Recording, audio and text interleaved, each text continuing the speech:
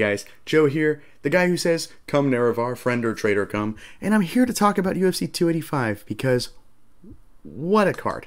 So I'm, I'm, I'm not 100% happy with the results, but who is ever, right? Who goes into a fight card and leaves with every one of my guys won? That's just, I think that's happened maybe twice ever in the times I've watched, you know, MMA and been a lifelong fan. But there's a lot to talk about. So enough talk. Let's get to the fights.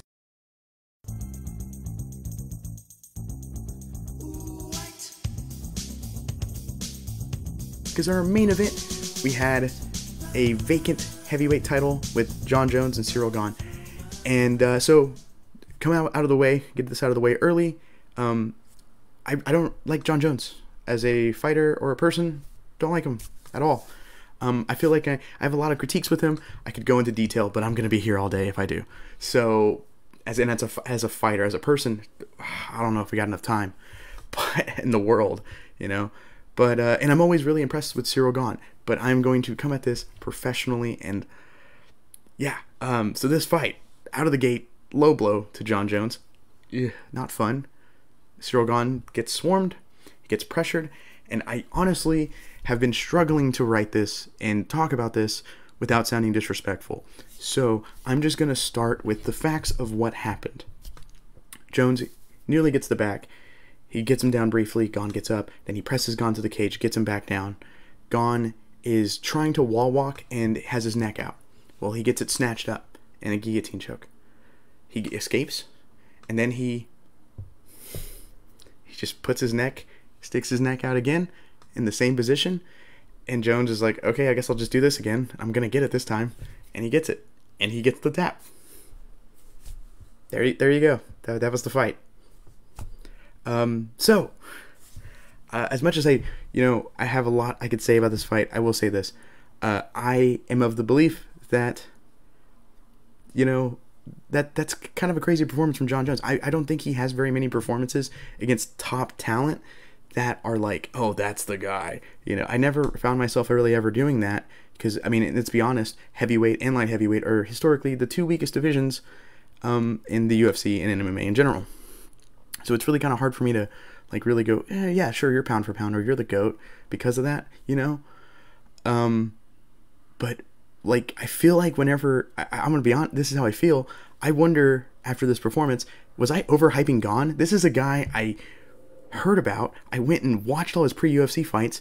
I kept watching his pre UFC fights, and then when he got to the UFC, made his debut. I watched it, hunted it down the day of, and watched it live, and I watched every one of his fights live because this is a guy I was kind of building up as like the future of the division. This is a guy who bounces on his toes for 20 minutes or 25 minutes and doesn't really seem that tired. Great cardio. That's insane at heavyweight as a as a super kicker. And um, I, kind of wonder after this performance and the Ngannou performance if I've been overhyping him because it seems like his grappling has gotten worse. He offered no resistance, and uh, I, I, I don't I'm not going to be the guy to question your I, I, I I'm not questioning his grappling talent or his preparation or his will his willpower will to fight and continue on. I'm not going to do that. I'm just going to kind of I'm, I'm not questioning it. I'm just saying I'm, I'm a, I can critique it I feel like a little bit and say I'm not that impressed I, I don't know. I, I feel like something's going on there. Uh, I, I feel like his grappling has gotten worse. He kind of just gave up the choke and got it and tapped. It was odd you know, and I think it's incredibly impressive if you can make me say that about your opponent. That's an insane performance if you have me kind of befuddled in that. So credit to Jon Jones. It's fantastic, fantastic performance. Um, I thought he didn't really have a chance in this fight. I got to be honest. I thought Gane was gonna uh, use his footwork, use low kicks to beat up them chicken legs all night, and then just tee off on him and just kind of kind of think of it as like the Tai Tuivasa fight without with Gane getting hit less. I kind of expected that in a sense. Um, if I'm being honest, I thought it'd be a, primarily a striking affair, as Jon doesn't grapple anymore. His he doesn't care to. He he's been wanting to do this weird, slow kickboxing match and lose, in my opinion, to Dominick Reyes uh, in him. So I don't know. It's very odd, v- uh, very odd. And he, but Jones came out here, shut me the hell up, got it going hey. Um, but let's talk about the elephant in the room. Is Jon Jones the GOAT? Now, that's a subjective opinion, I think. I think that's a subjective topic, I should say. So I'm going to give my two cents. Jon Jones, in my mind, will never, ever be the GOAT, and he'll never even be in the conversation to be a GOAT because he's popped hot. That That's my opinion. So um, I know you, if you're a Jon Jones fan, you might disagree with me, and that's 100% okay because once again, this is all about opinions. This is just my opinion. And um, you might even say my opinion doesn't matter. I've, I've seen that response this week during fight week about Jon Jones. My, your opinion doesn't matter. And you know what? You're also right. My opinion doesn't matter. But I still have one, and that's okay. We all got one, you know? And this is just mine. I think if you pop hot once, I now have to question every one of your fights. Because, well, if even if it was just a little bit, I, but that means you might have been coming down when you got caught. What about two weeks ago when you weren't tested and your levels were through the roof? Or what about fights you didn't get caught for? What if you were going crazy beforehand? And that's not even with the personal stuff. I don't care about the personal stuff, at least when it comes to the GOAT contention, you know? Um, I, I do and I don't. Like, it, it doesn't, it shouldn't factor in, despite the fact that it's going to be in the back of my head, but it shouldn't factor in because you don't bring that in the cage with you. You don't bring your history and all, and all that stuff in there. All you bring is you yourself and if there's roids in your system, that's going in there too. That's just how it is. Um, for me, the goats are GSP one. I got Mighty Mouse at two currently, but I'm kind of skeptical on that one. But I, I do say him at two. I think if Cejudo beats Sterling, we gotta have him in that conversation. It's time to have it. You know, um, he's at least got the pound for pound head size going. But and if and a, hypothetical here, but if Khabib would have stayed, he beat Charles, he beat Chandler, and he potentially would have fought Volkanovski and beat him. Let's say in this hypothetical, he would be my goat, but he didn't. That's just how it is. So GSP is the goat in my opinion. That's the greatest ever.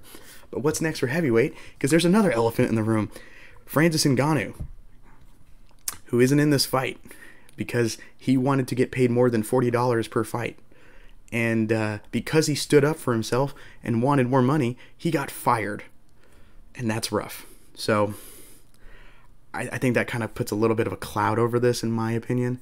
But look for Curtis Blaydes or Sergey Pavlovich, the winner of that fight, to be the next contender to Jon Jones.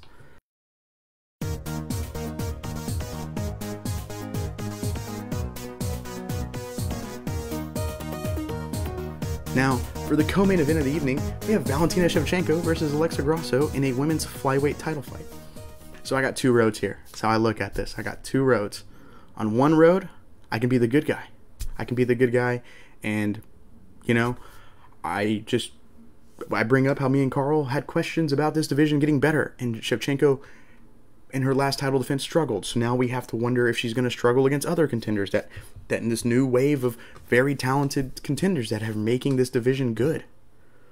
Or I can become the super villain and just antagonize Shevchenko fans.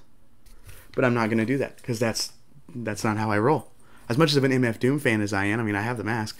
I, I'm going to choose to remain professional and respectful because let's be honest, I've had a good amount of interactions with Shevchenko fans since being on this channel, and all, all of them, except for one, have been great. They've been fantastic. We can disagree on something and still be respectful and cool with each other, and I, I, I love that. I, I appreciate that. That's what makes this sport great. That's what makes you guys the best fans ever, I think. You know, call me biased on that one, but I got to give it up to you guys. You guys are fantastic. I love interacting with all you guys. Um, so I'm not going to do that. I'm going to just break down the fight. And it would be terrible of me to just antagonize you guys, even though, because I'm not a Shevchenko fan and everybody kind of knows it. I'm not going to do that. That's not cool of me. We're all friends here. You know what I mean? So let's just break down this fight. I had it 2 1 Grasso going into the fourth. I thought Grasso came out, and it was like she was listening to me. Oh, she like watches the show or something. Because I always talk about you kick a kicker. You want to jam those airways up and cause traffic, and she was doing that to take away the kicks when she could. She was using low kicks to punish the defensive footwork of Shevchenko. She was switching stances mid combination or at a safe distance. Then she was punishing the hand fighting with her own combinations as well. Beautiful. I, I thought she was winning the striking for basically the entire fight. she had the cleaner shots landed, and with a higher volume of shots, with her hurting the champion and the striking exchanges at times. Valentina, to her credit, used her strength advantage, got Grasso down, held her down. It kind of mirrored the Santos fight for me, where she would hold her, get her down and kind of Jake shield her, you know, just hold her down, not really do much. Um, except for in the second round, I will say. Second round, she was really going for stuff. But in the first and third, I really wasn't feeling like she was going for much. Um, but that said, that's it scored points in the Santos fight for me, so it scored points for me here. You know, I just felt like a majority of the fight was taking place on the feet, and here Grasso was having a clear advantage, so I kind of leaned towards that. Um, at least in the first and third round. Third round is the really close one, by the way. I, that one I, I, understand if you have it one way or the other. In my opinion, that's a pick 'em round. But the first round easily Grasso. Second round easily Shevchenko. She nearly got her in the crucifix. Was working for it, pretty good. And uh, uh, she was kind of struggling. She was do- landing the double legs very well, but she after getting a head and arm choke or a head and arm tie up to get the throw. Um, after it was kind of clear that she was going to go for that, when they were just kind of standing in the neutral of sorts, Grasso was kind of tagging her, lighting her up a little bit on that. So very good adjustment. And the finish came in the fourth round after Valentina missed a spinning back kick. It was sidestepped. Kind of a risky maneuver. Spinning attacks, pretty risky because your opponent can just kind of step in on you and get the back. Look at Uriah Hall and Robert Whitaker, for an example. Or now this fight. Kind of a risky move with no real setup. Just kind of goes for it. Just why not kind of thing. And she gets punished. She gets her back taken. Grasso has her back. Puts in this gnarly choke. And like, look at the pictures after the fight. There's a picture where it's like, it was more of a neck crank. You can see where her arm was after on like her chin and like like a little bit of the neck of how tight it was. It was like two tone because you know she's red from all like the fight and the adrenaline, the sweating and stuff. But then it was like her normal skin tone where the choke was. It is nuts. It was so tight. And Shevchenko taps. Alexa Grasso becomes the third Mexican-born champion. No we have three of them currently, which is amazing for me, being half Mexican and proud of it. And the first ever female-born Mexican champion.